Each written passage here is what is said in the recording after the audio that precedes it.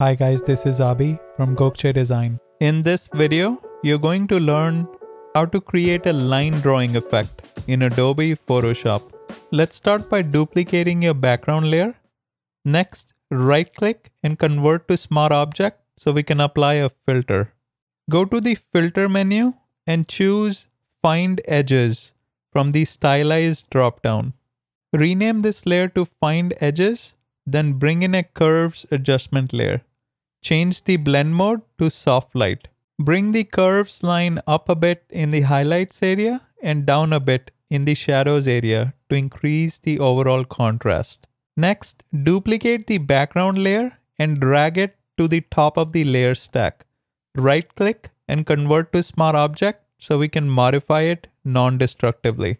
Go to the filter menu and choose Gaussian blur from the blur dropdown. Enter 50 pixels for the radius, then reduce the fill value to 25%. Change the blend mode to difference. Finally, let's look at the before and after images. Looks good to me. Make sure you like, subscribe, and turn on the notification bell. Until next time.